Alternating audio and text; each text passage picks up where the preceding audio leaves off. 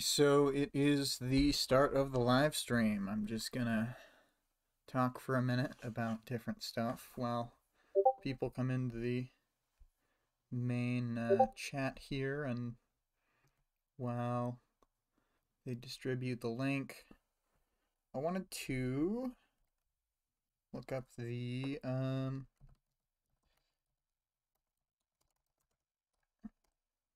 Uh, classifications uh, rhyme. And I'll just read that out real quick. If I can find it. Um, well, uh, maybe I won't do that because I didn't prepare it. I only thought to do it in the last few seconds before I started the broadcast, so might not happen. Um. All right. Well, um, let's see here.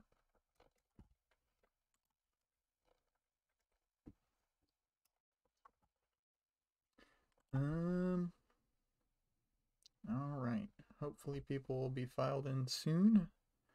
All right, we got people. Cool. Cool, cool, cool. Um. Hello, um, and, uh, uh, ah, in disguise. I think, I think I know who that is. Um, uh, but, uh, let's see here. Oh, okay. So it's, it's Vic and Casey. Got it, got it. Um, uh, okay. Uh, so I don't know if anyone else is coming, so we'll just start. Um, all right. Um, why have you combined? Decent question. Uh, but uh, let's see here. Uh, starts the chapter by leaping most of the way up the side of the building then using his metal claws and super strength to, to climb the rest of the way up. Taylor thinks about trying to flee down the fire escape, but realizes that even if she did get. Oh, you know what? I did not put up the image. My bad. Boop. This was supposed to be already on screen. Um. Cool. Uh. So let's see here.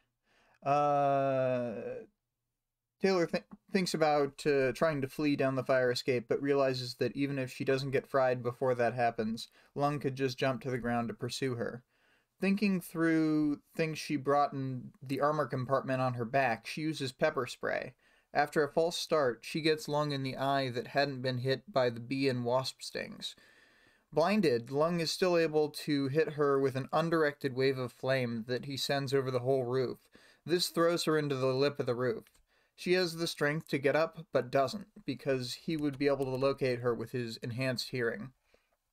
It's mentioned that as Lung walks around, he has a limp.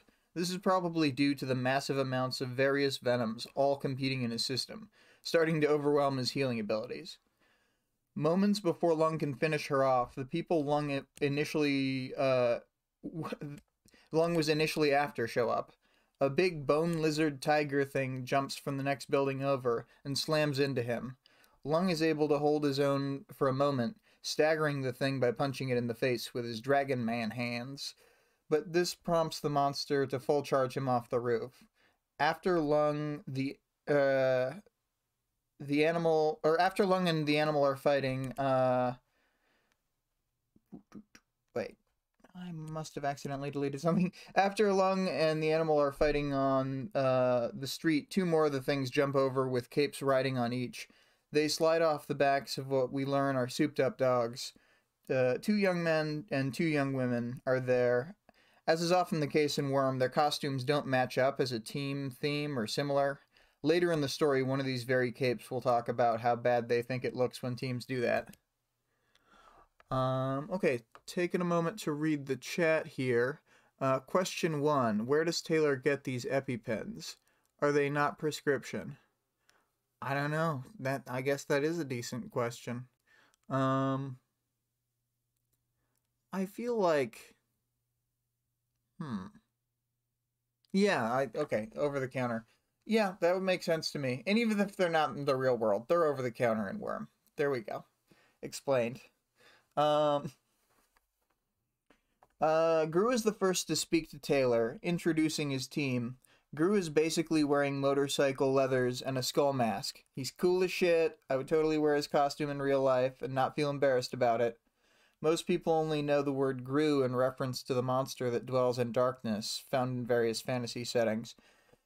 This makes sense because of Grue's power, uh, on the surface level being to generate darkness, but the meaning of the word itself is a shudder of fear, and it's also the first half of gruesome. Tattletale has a purple and black bodysuit with a domino mask. Uh, those are the kind that just cover around the eyes You've seen them in characters like uh, Green Lantern or Black Cat. She's always smiling to herself and projecting confidence. She can uh, get information easily. Her brain is like a supercomputer that pulls in data it shouldn't have. We'll talk about all four characters and their powers more uh, in later chapters, but Tattletale can be seen as something of an exposition cheat. She's able to give an info dump to Taylor and the audience in a way in an entertaining way. Um. Uh. Unclear, M. I, I don't know if EpiPens are free in the worm world. Uh. But man, she just she got him. Uh, bitch uh, basically doesn't wear a costume. She just has clothes she normally wears and also a plastic dog mask. She's the one who powered up the dogs that are fighting Lung she provides the uh, muscle to the team. A lot of the way that different groups operate in this setting is based around what types of bases they can cover in a fight. Aside from Bitch, this team has two utility capes and a thinker, so it really helps them to round out the team to have some actual muscle. Last, we have Regent. We don't learn much about him or get to see his powers yet, but Taylor says he has more of a dancer, or more of the build of a dancer than a bodybuilder.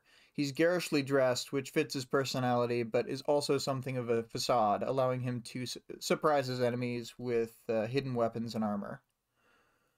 Um, let's see here. Taylor doesn't manage to say anything to them until uh, they're about to leave, as she's too nervous to talk. Grue and Tattletale fill the dead air, explaining that they knew Lung was coming and went to wing it uh, and fight him because they couldn't figure out a better plan. Tattletale picks up on a protectorate cape approaching, and they start to leave. They offer to give Taylor a ride with them, Grue having assumed she was a new solo villain in Brockton Bay. Tattletale gives her the name Bugs since she doesn't have a cape name yet and bids her farewell. Um, Taylor sits there stunned to, to realize that not only had they mistaken her for a villain, but these very teens were the kids that Lung was planning to kill a rival team of capes. Blah. Um, and then uh, I like this chapter because even though it's early on and she gets bailed out, we get to see how dangerous being a solo operator and even just cape fights in general are. Taylor gets to use her resourcefulness and uh, we're able to see that even in the face of what feels like certain death, she never gives up willing to fight with any meager tools or weapons she has at her disposal. I also think that pepper spray being effective in the fight is like an extension of the idea that her bug power can seem underwhelming to people who haven't thought through the possibility space of the power to intelligently control a swarm of bugs. I also like that she wasn't able to suddenly overcome Lung on her own, which would have seemed jarring based on what we had knew from previous chapters. Um, in the chat they say I was so worried she would be called Bugs forever. yeah. Um as I alluded to on a previous episode, the first time that Taylor sees the dogs, she's horrified by them and finds them entirely monstrous in appearance. But you'll see her opinion on them soften, and later she'll reach the point of normalization that she can't understand the fear of other capes and even civilians. When they're faced down by these hulky, spiky bone lizard tigers. Um, M says, "Good thing she gets named Worm." Yeah, exactly. That that's that's why they call it Worm. Uh, I also wanted to mention that I love sassy internal monologue Taylor. Uh, the irony of the fire escape being anything but didn't escape me. Classic line. Um, and then we are on to 1.6. I I did describe them as bone lizard tiger dogs. Uh, that that happened. Um, bloodied and snarling, some would say. Uh, as Tattletale predicted, we open with the hero from the Protector arriving. Taylor can hear his motorcycle on the street level. Exhausted by her fight and not wanting to look like she's fleeing, she just sits there on the roof waiting for them to reach her. Armsmaster arrives on the scene, leader of the Protectorate. We get a few lines telling us about them being the government sponsored hero teams across Canada and the US, trying to form new ties to expand to Mexico as well. As the story goes, we'll find the that the Protectorate is a corrupt organization in many ways, but somewhat comically, they're much less corrupt than actual US police forces. Most of the actual Protectorate heroes are well meaning and believe in what they're doing. In real life, it's like ACAB all day, every day. But within the story setting, my feelings are less cut and dry. Um, um, let's see here. And then uh, Armsmaster is a tinker. From this point forward, when I talk about new powers, I'll probably classify them as we go. Taylor is a master, Lung is a changer. Armsmaster probably has a lot of small or subtle gear that isn't mentioned here, but he has his signature halberd, which has a lot of capabilities and can deal with a wide range of opponents. He also has his motorcycle, body armor, and visor with built-in lie detector. In real life, lie detectors are basically just fake. Um, but uh, since he's a skilled tinker, his almost certainly works. Uh, his color scheme is blue and silver. There are certain cultural conventions in this setting about color combinations that indicate hero and villain. These aren't strictly followed, but uh, it's part of why he initially assumes that Taylor is a villain all dark gray, with the only other color to her costume being yellow lenses on her mask. He believes Taylor when she tells him she's a good guy because of a lie detector. Um, yes, and Tinker is the only classification we've uh, heard so far. I am going to talk about more at the end of this uh, uh, set of chapters here. Um, Let's see here. Uh, Taylor sort of blurts out that she almost died, and Armsmaster brings up the wards to Taylor, letting her know that if she joined, she would have backup and resources that she wouldn't have as a solo hero. But this doesn't interest Taylor, as she sees this as an extension of the kinds of settings and systems she's been trying to escape by being a hero. I'll talk about the wards more as we meet some of those characters later. They're kid to teen superheroes. Anyone who's not legally an adult. Plus, sometimes they wait a bit longer to have a ward move up to the Protectorate to hide exact ages of the hero in question, to avoid making identities too obvious. They're not actually supposed to go into dangerous situations and are only supposed to be in training until they're adults. Uh, but we'll quickly find that those lofty ideals to keep the kids safe have long since been abandoned in favor of practical need for powers on the battlefield. Um, and Greg brought up Alexandria's costume. Uh, agreed, she has a costume that is uh, all uh, black and gray, I believe. Um, and uh, agreed with uh, with Vic that Tinker is uh, the most different from the other powers, in my opinion, uh, in terms of like actual functionality. Um, uh, let's see here. Taylor tells Armsmaster about the fight. What she tells him gives him new information on how the Undersiders have stayed one step ahead of the authorities up to now. We also get to hear about the Undersiders from Armsmaster, uh, Grue and Hellhound were previously solo operators, but he has no information on Tattletale Regent. Taylor says that the group didn't seem too hardcore. We'll actually see a lot of ways that different groups interact and deal with the stresses of battle over the course of the story. As Taylor laments the fact that they were probably letting their guard down around her because they thought she was a villain, Armsmaster uses the mindset that Taylor had been aspiring to keep and turns a negative into a positive, ta- telling Taylor it was actually a good thing the Undersiders thought she was a villain because she wouldn't have been able to beat them in a fight. She admires that trait even though she's worn out and generally not in the mood to deal with people. Although she's somewhat charmed by his smile and laugh, her opinion on him sours when she realizes later in the conversation that he wants to take credit for defeating Lung.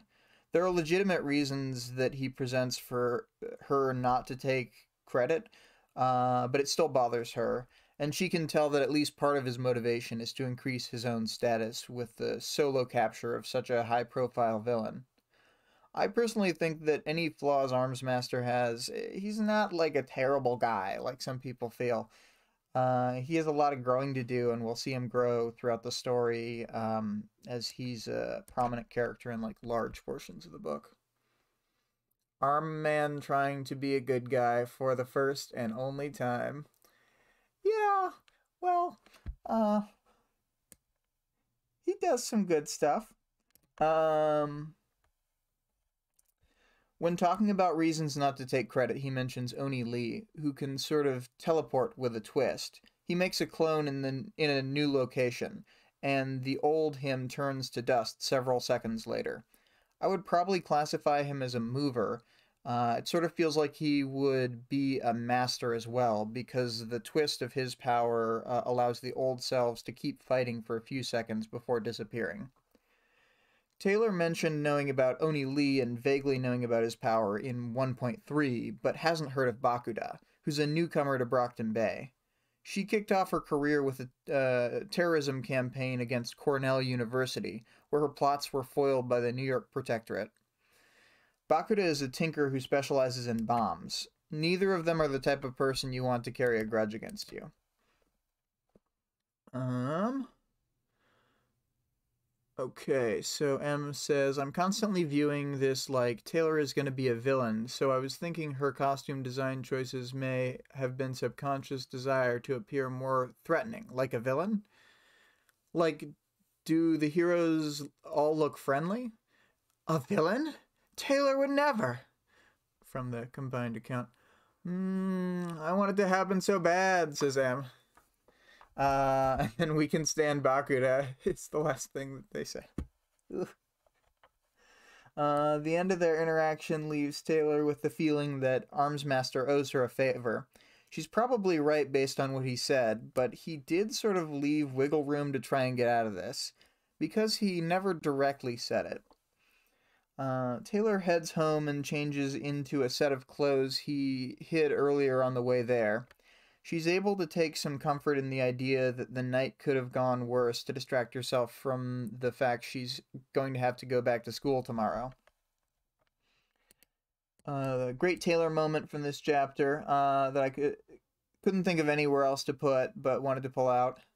I was pretty sure that he was obligated to try and induct new heroes into either the Protectorate or the wards, depending on their age, to promote the whole agenda of organized heroes who are accountable for their actions, and I really didn't want him to get on my case about joining. Oh, Taylor. Um. And yeah, Taylor does think a lot about self-image. That's that's true. Um, self-image is one of her tools. Um, I like that line. Uh, it was like Michael Jordan saying you sucked at basketball. Uh, I think it's pretty funny.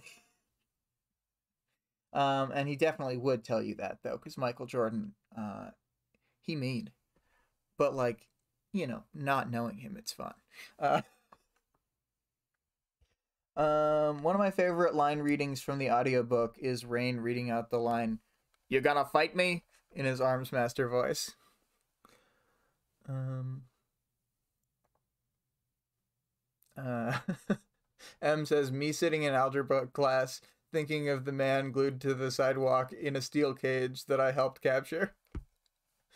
Uh, um, I didn't. I didn't think that much about the themes this week. The bullying, like, in a way, Armsmaster kind of subtly bullies Taylor. Um, uh, the way that he gets her to let him have credit for um, Lung's capture.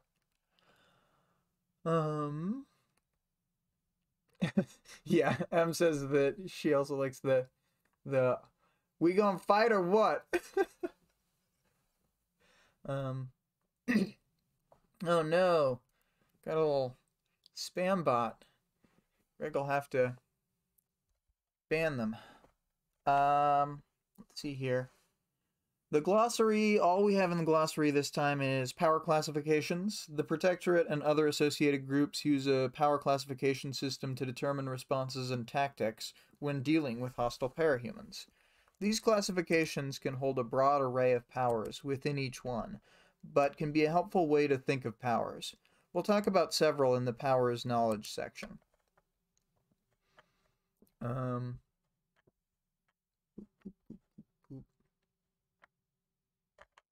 Um. Uh, oh, you're saying that you think that Armsmaster didn't do anything wrong in this chapter? I actually agree. Um, I don't think that Armsmaster really did do anything wrong in this chapter, but uh, it still turns a lot of people against him right away, which I kind of find, uh, find kind of really weird. But um, oh, M had another question: Is there some place I could read along while we listen? It helps me know um, and can I link it in the Discord? Yeah, I'll link it in the Discord. We can uh, get that there. The whole text is online and free. So, um, uh, and that is at um, parahumans.wordpress.com. Um, and I'll link it in the Discord later. Oh, uh, Greg linked it right there. That's very good. Um, let's see here. So, uh, now to the characters section. I changed it from the new characters section because I'm going to want to keep bringing people up as we learn uh, important stuff about them later, etc. Um, and I want to be able to mention characters we basically don't know uh, yet also. Um, so, Grue. He seems like a friendly guy for a villain. He's cautious, doesn't like situations like this where they don't have a plan going in. He's got a deeper voice and he's a bit more than six feet tall. He could be mistaken for an adult when in costume, but he's a teen, just like the others. Uh, his costume, he wears a black biker outfit, leather jacket and all, full face helmet with a skull pattern on the visor, usually has a layer of smoky darkness flowing out of him that obscures him. The helmet has vents that allow the darkness to flow out.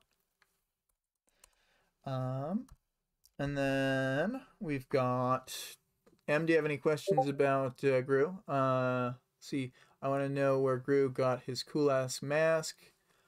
I feel like you could just get a skull face helmet in real life now. Um, I believe they're out there. I, I don't even think it had to be commissioned. I, I think that this is just a product that exists in the current world and in the worm world. Um, I mean, helmet with a skull on it. I mean, yeah. Anyway, uh, Tattletale always seems like she's up to something. She acts casual and jokes on the battlefield, always wants to keep her status as the smartest person in the room. She's thin and has long, dark blonde hair. She's a bit taller than Taylor, and she's my problematic fave. Um, and then M says, Is this what the thing Armsmaster was talking about? The Capes youth group? The Wormed? Sanctuary or something? Wormed? Uh, they're it's uh, they're called the wards. Um, and these these guys that I'm talking about are the Undersiders, a group of teen uh teen villains.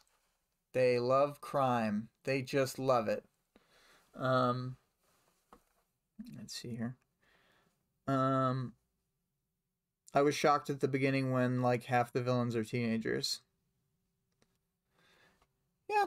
Um it's a little weird, uh, I guess, but it makes a lot more sense when you like understand the setting, I guess. Um uh but yeah. Yes, Undersiders teen villains and Ward's teen heroes, definitely. Okay, so Tattletale's costume. She wears a skin tight lavender bodysuit with bands of black across the chest and down the sides of her arms and legs and body. Um, an image of a stylized gray eye is barely visible against the black of her costume. She's got a black domino mask, and the rest of her face is visible. She wears a utility belt diagonally across her body and keeps her hair down. Uh, her powers, she seems to have a power that gives her insight into the world around her. She's not only able to know when trouble is coming, but she also knows what Taylor used to attack Lung. Um, teenagers are inherently evil. Thank you for that, Em. Um, uh, next we've got Bitch. She's very aggressive and wants to fight first and ask questions later. She loves her dogs and spends most of her time trying to care for dogs that would be put down. Seemingly unable to have normal interactions and relationships with people because of her past trauma. She's about as tall as Grue with a burly build, helped by handling and riding her giant dogs. Her costume is just various regular clothes, usually a large jacket with lots of pockets, and a plastic Rottweiler mask. Her power gives her the ability to pump up dogs uh, with, like, essentially a changer form uh, to become, like, van sized and composed of bone spikes and calcified muscle. Uh, the dogs are still distinguishable from uh, each other when they're fully powered up. They're not becoming some generic template. Each dog has its own form. Um, uh, so Regent, he has the he has a dancer's build with short, curly black hair, openly offensive to his enemies, passive aggressive to his friends, pleasure seeking, lazy, easily bored, and always trying to get under people's skin. He loves to make a joke at the wrong time. This guy is Victoria's problematic fave. His costume, he wears a loose fitting white shirt, uh, white Venetian style mask, a silver coronet, and a skin tight leggings under his knee high boots. He also carries a silver scepter with a crowned orb at the top. Um, M says, I'm having such a hard time visualizing the dogs. Um, there. I'm gonna find a good art real quick and then link it in the chat. Um, I well, no, I don't want to use someone's work that we haven't asked beforehand, and we haven't asked anybody except, you know, Vic's drawings. So, uh, uh, um, let's see here. So, yeah, at the question, Emily, who's your favorite so far? Uh, I couldn't bring myself to try to draw them. And then M says, Not gonna lie, Armsmaster sounds like a dad, so he's my favorite. You're fine. I can look it up maybe. Ha! He's a bad dad. And then um, uh, Greg links something, which I'm sure is a good Doge picture. Um, worm Hellhounds. Um, he sounds like a good dad, says M. Um, uh, Arms Master, bad dad. Uh, let's see. Oh, and M just saw the dogs and said, "Holy shit." Um, you think he's a tail? uh, oh boy. So, uh, moving on from Regent to, in fact, Arms Master, the leader of the Brockton Bay Protectorate. He's in his early 30s. He's been a cape for over 15 years and fought in many important battles. He's very concerned with rising the last few ranks in the Protectorate. His costume Armsmaster wears dark uh, blue body armor with silver highlights. His emblem is on his chest, a silhouette of his blue visor against a silver background. His helmet covers the top of his head and has a sharp V shaped opaque visor covering his eyes and nose. His trimmed beard is visible. Um, he carries his trademark halberd and has a bunch of other tinker gear built into his costume. Um, and his powers, he is a tinker of some kind. That is about all we know. We know he made most of his gear, but we don't know what his specialty is or or whatever. Um, and then M says, "Oh, the Undersiders. Uh, probably Dog Lady." And then cringe. Total Dirk move. Um, but uh, the person who's saying uh, liking the dog lady is is cringe was recently remarking on thinking that uh, bitch is kind of a fan service character in some ways, and I think it's earned fan service. but uh, let's see here. Um, M says also yes, it doesn't help. I imagine Doc Ock when he first appeared. um total Alfred Molina. Um, let's see here. Uh, oh yeah, as far as like Armsmaster's gear that we know of, it's like the armor, the uh, lie detector, the halberd, which has like tons of special functions, and you know, so he's got a pretty like, I guess, wide net that he can cast as far as like technologies he can make. Um and then we've got Bakuda. We don't know this mysterious bomb tinker yet, but we should be on the lookout. Powers bomb tinker. Uh, we'll talk about Bakuda more in her real debut. Um OMG. I'm I'm gonna have to go down a hole of fan art or something.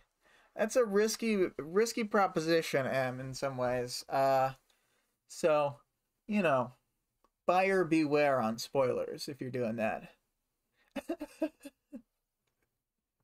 um, because uh, Victoria ran into a very early, uh, like massive spoiler. So, um, yeah. Um, let's see here. Powers knowledge and other world building information. Um, we've got master powers. Um, the powers in this classification. Uh, masters are parahumans that can control other things or create minions that do their bidding. Their personalities, masters arise from isolation, alienation, and betrayal. Feeling isolated from a single individual tends to feed into having a single fixed minion, while feeling isolated from society tends to result in numerous and or variable minions. Um, the master classification will of course be one of the most important in the story since the protagonist is a master and we'll be seeing from her perspective for the majority of it. Um, uh, Taylor, of course, had isolation and alienation from all of her peers because of the intense bullying and the sense of betrayal from uh, from Emma. So it's uh, it's all right there on the page. Um, and then Tinker. The powers that Tinkers have are distinct from other parahumans in that their powers don't work through them so much as they enable them to fabricate things. Most tinkers have a specialty, an area of technology they work on exclusively or better than others. Some tinkers draw from real world technical knowledge, and some rely more on instinct. For personalities, tinkers arise from problems without solutions that take place over long periods of time, accumulating until a crisis moment. The Tinker classification helps explain why characters like Iron Man would exist. In this setting, his devices wouldn't work if he didn't do constant maintenance. Some of the devices only work if you have an intuitive understanding behind the device itself or other knowledge granted by the power. Um, and we'll see examples of that later in the book of characters who just essentially have also have a thinker power. And M says, "Okay, well, Armsmaster will be Doc Ock in my head for now. Then, there it is. I can post spoiler-free um, art in the Discord. I think. I think that's that would be fine. Um, uh, but also Victoria is her next chapter art is going to be uh Armsmaster so that will allow us to to see um everyone is younger than you'd think armed man is in his early 30s it's true. It's true. Because he triggered as a teen like pretty much everybody else. Like some people trigger as an adult but uh not a lot of people. Um let's see here. Changer. Their powers can alter their form appearance or natural abilities through some form of manipulation of their own bodies Changers don't typically get new powers beyond natural weapons. Lung, for instance, has a small kernel of each of his other powers with no transformation. Um, so he can use a small amount of pyrokinesis. He has natural fast healing. He's naturally a little tougher, a little bigger, and a little stronger than like he was before he had his power. Um, and then let's see here.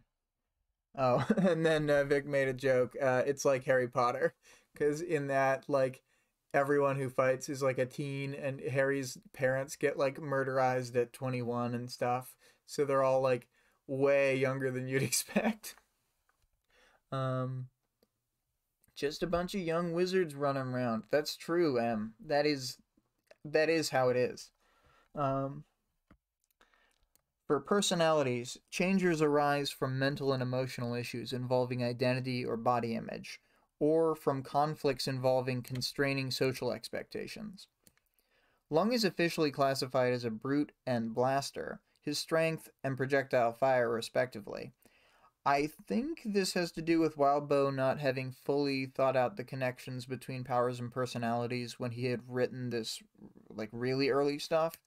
Um, maybe it's another reason that I, I just couldn't sort of come up with, but I don't think it's a problem to call Lung a changer and just have him be out of the norm for that grouping. Plus, he does have some weird identity issues that we'll get into later uh, as they come up. So it, it all kind of fits. I don't know. Um, do you want to ask about any of the characters? Um, to be honest, I haven't thought a lot about how classifications have personality archetypes and similar triggers, so it will be interesting to think about all that.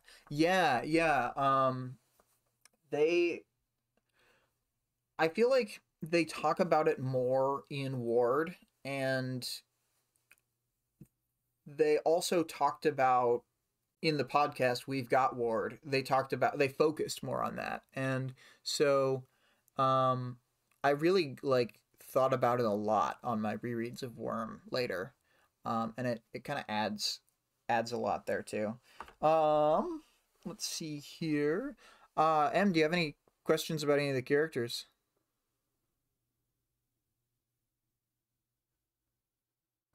Um, do, do, do, do. Let's see here. It's like astrology. Well, it's like if astrology gave you superpowers. Uh, the more I think about it, the more I think Lung has a real uh, weird view of himself and other people. Yeah, yeah, he definitely does. I agree, Vic. Um,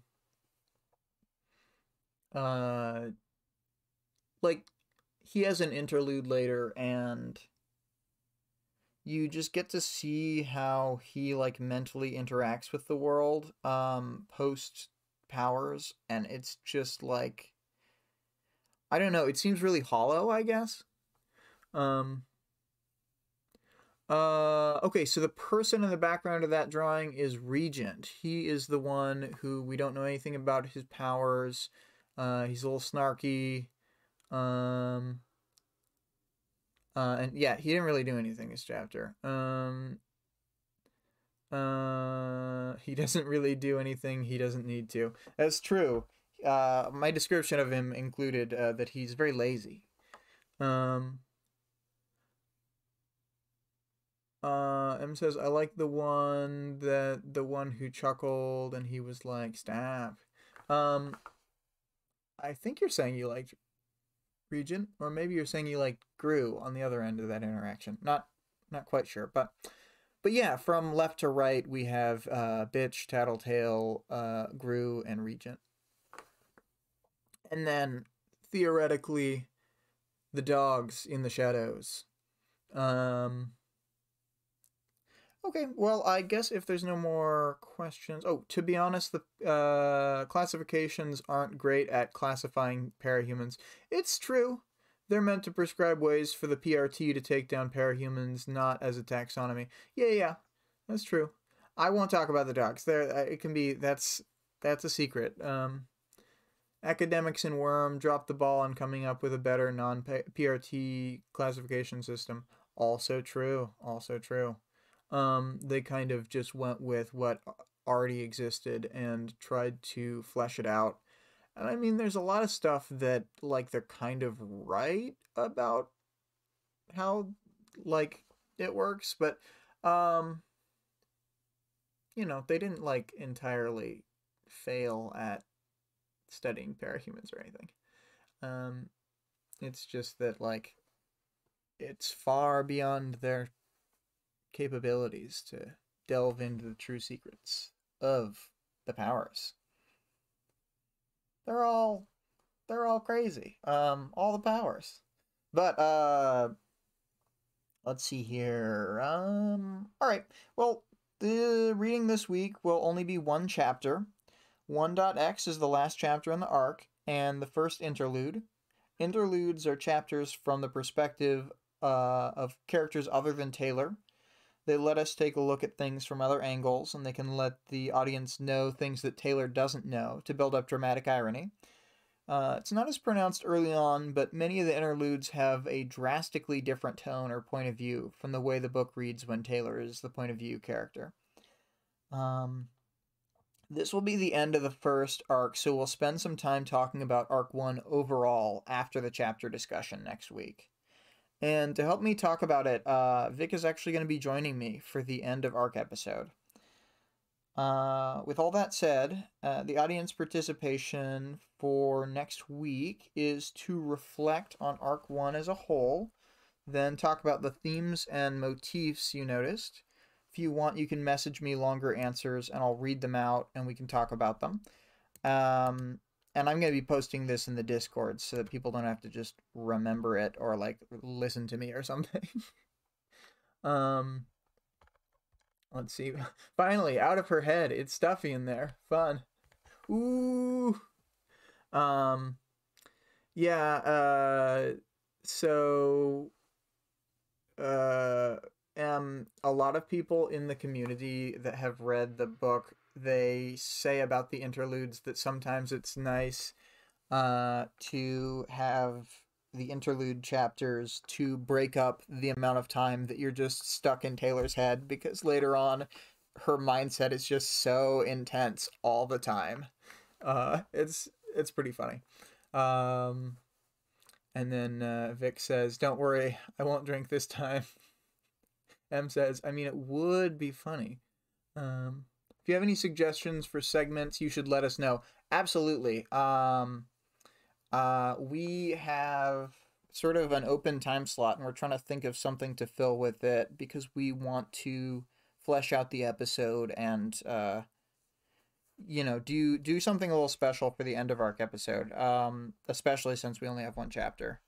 Um, so because I I'm not sure how long the arc review segment will take. I still need to write the outline for that. So, Um, and then examples of the stuff is March Madness or character rankings, uh, or Vic writing a sonnet for Armsmaster. Um, let's see here. Uh, bu- bu- bu- bu- bu. Does anybody have anything else they want to say before I kind of cut it off? Give it like uh, 20 to 30 seconds while I reminisce how great Taylor is. She's just amazing. True champion. Um, unstoppable. No one can ever beat her. Um, nope, no more. Okay. Um, I think we are done then. Uh, thanks for watching, and uh, we'll see you next week. The uh, audiobook portion will be a little later, probably closer to 12:30 or 12:35 because we're only listening to one chapter. And then we will uh and that's in mountain time, so that'd be 11:30 or 11:35 Pacific. And then the episode will air just like every week at uh, 1 p.m. Mountain and noon Pacific. Um, and yeah.